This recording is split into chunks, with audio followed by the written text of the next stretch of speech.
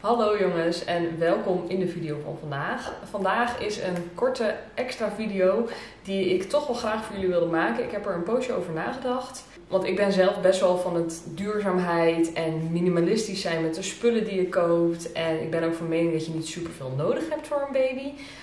Maar ik dacht, ja, ik had het zelf toch wel graag deze dingen willen weten. Dus ik ga er toch een video over maken. Ik ga jullie 10 dingen vertellen die ik meer had willen kopen voor mijn baby.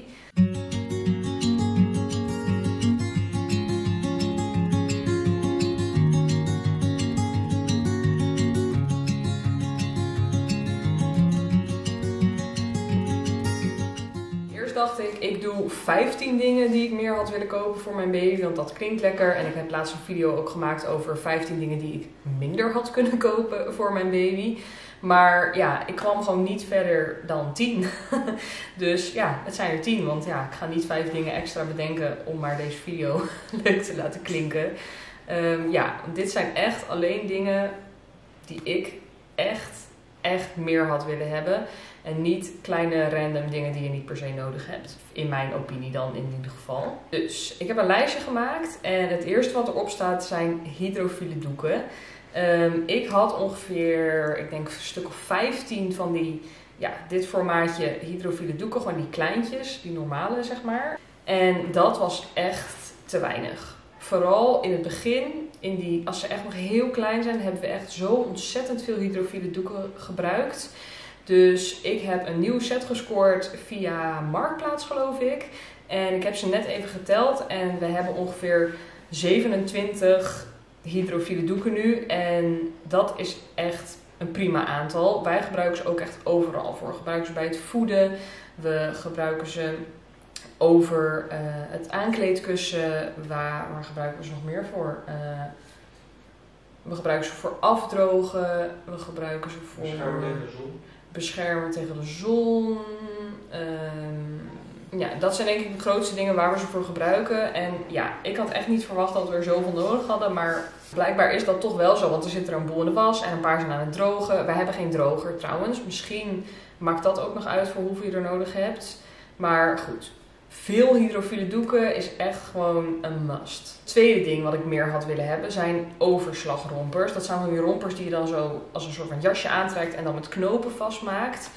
Ideaal. Ik had niet anders willen hebben in die babyfase. Ik had een heleboel rompers die niet zo waren, maar die waren echt ontzettend irritant. Dus ik heb toen na een paar weken besloten, we gaan meer rompers kopen en dat zijn overslagrompers. Dus dat heb ik extra gekocht. Um, ja, dus mijn advies zou echt zijn: koop alleen dat soort rompers. Want echt, die zijn zoveel fijner dan badolie. Ik had geen badolie gekocht. Ik had wel een beetje van die zeepvrije badschuimzeepspul om schoon te maken.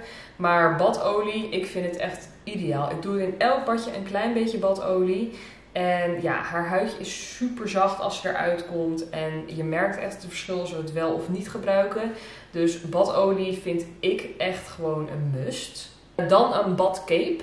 Ja, ik had één badcape gekocht en ik dacht dat moet genoeg zijn. Want um, ja, als ik meer nodig heb, dan gebruik ik wel een handdoek of zo. Maar nee, ik heb nu twee badcapes en dat is gewoon ideaal. Want ja, je wil, tenminste ik wilde echt eentje met zo'n kapje over het hoofd. Omdat ze zo erg snel afkoelen via het hoofdje.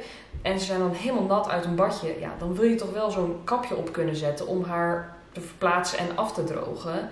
En dan plaste ze er bijvoorbeeld weer overheen en zat hij in de was. En dan wilde ik een badje doen. Had ik er geen. En dan heb ik het wel een paar keer met een handdoek gedaan. Maar het is toch minder warm, minder fijn voor haar. Dus ja, twee badcapes vond ik wel echt heel fijn om te hebben. Uh, dan had ik meer billendoekjes willen kopen. En niet meer billendoekjes omdat ik te weinig had. Maar er was een aanbieding uh, toen ik in mijn zwangerschap. En toen had ik al twee grote dozen gekocht. Maar kijk, je hebt er gewoon superveel nodig. Um, ja, er bestaan trouwens ook wasbare billendoekjes. Maar daar zijn wij niet uh, aan begonnen. Um, ja, iedereen zijn eigen keuze daarin, maar dit is in ieder geval die van ons. Dus ik had net zo goed, toen ik die doekjes in de aanbieding zat, gelijk gewoon zes dozen kunnen kopen. Of weet ik veel, vier of zes of zo. Want ja, het blijft gewoon eeuwig goed en dan heb je het maar gewoon in de aanbieding. Dus dat had ik meer willen kopen, want op een gegeven moment waren ze op en toen moesten we nieuwe kopen. Ja, beetje zonde, want toen was er geen aanbieding. Dus dat is niet per se een duurzaamheidstip. Eigenlijk helemaal geen duurzaamheidstip, maar wel een geldbesparende tip. Ehm, dan hadden wij verschoonmatjes. Ik zal, ik zal ze even laten zien. Ja, wij hadden deze verschoonmatjes. Deze zijn van de IKEA. Het zijn lange stoffen matjes met een beetje een plastic onderkant, zodat het vocht er niet doorheen gaat. En deze gebruiken wij eigenlijk het allermeeste om haar op te verschonen. Deze hadden we dan in verschoonstations hier beneden liggen en op onze slaapkamer en in de luiertas. Ja, en dan leg je dit dus gewoon op een zachte ondergrond en dan kan je haar overal verschonen op de bank, op een kleed, op ons bed. Uh, ideaal. En dan heb je dus niet overal een verschoonkussen of zoiets nodig.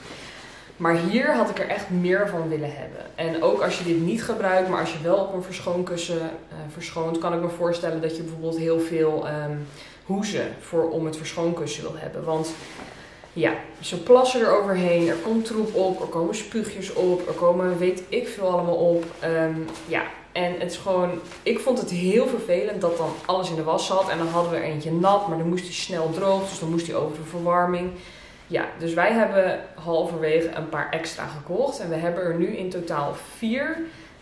En nu hebben we eigenlijk altijd genoeg. Dus deze matjes, naast dat ze überhaupt ideaal zijn, heb je er ook best wat van nodig. In mijn opinie in ieder geval. En deze zijn dus van de IKEA.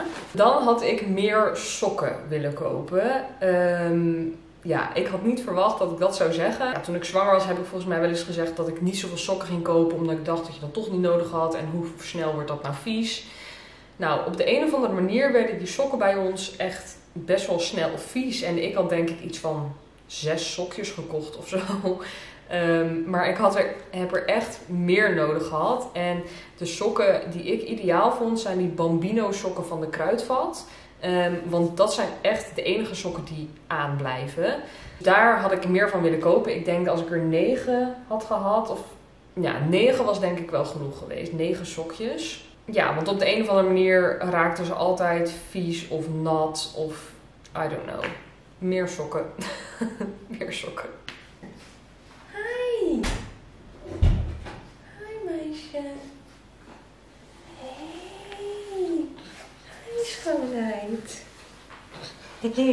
Nog drie dingen die ik meer had willen kopen. Het eerste zijn flessen. Wij zijn op een gegeven moment overgeschakeld van borstvoeding naar flesvoeding.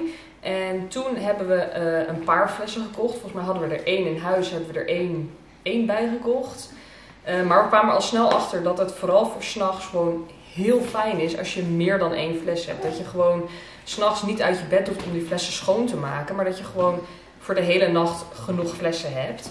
Dus toen hadden we er nog één bij gekocht. Toen hadden we er drie. Kwamen we erachter dat het handig was om nog wel een extra fles te hebben. Dus toen hadden we er nog eentje bij besteld. En onze conclusie uiteindelijk was dat vier flessen ideaal was. Want dan hadden we genoeg om de hele nacht door te komen. En nog eentje voor in de ochtend.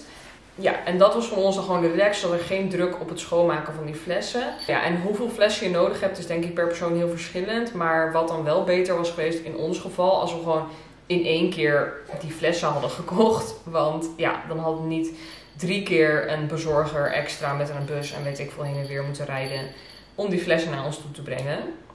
Dus vier flessen was voor ons ideaal. Nou, het ene laatste ding zijn boxpakjes. Ik had denk ik voor die babyperiode niet zoveel broekjes en shirtjes met knopen en weet ik veel moeten hebben. Of dingen die helemaal over het hoofd moesten.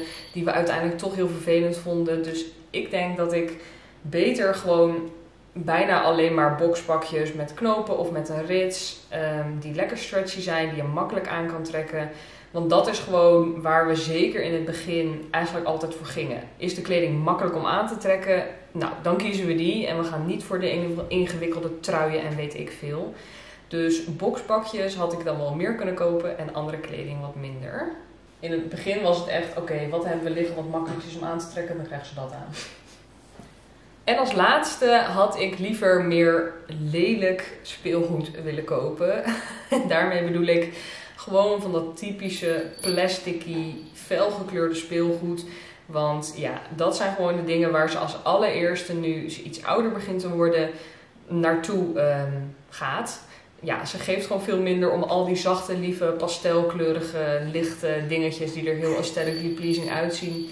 Maar ze gaat gewoon voor het oranje knuffeltje of voor de roze bal. Of ja, dat soort dingen. Daar gaat ze gewoon voor. Heel logisch ook.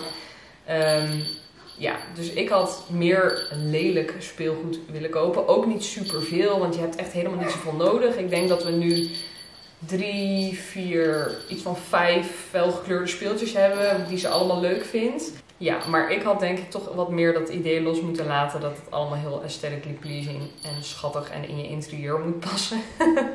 Want ja, zo werkt het gewoon niet. En het is natuurlijk ook heel goed voor een baby om lekker veel felle kleuren daarmee in aanraking te komen. Dat is alles wat ik had gewild dat ik meer had gekocht. Uh, stuk voor stuk dingen die voor ons dus goed werkten. Niet per se gezegd dat het voor jullie ook werkt. Ja, dus ik hoop dat het jullie helpt om weer ja, een beetje een betere uitzetlijst te kunnen maken. En iets beter te kunnen inschatten wat je nou precies wel en niet nodig hebt. In ieder geval bedankt voor het kijken. En dan zie ik jullie in de volgende video. Bye!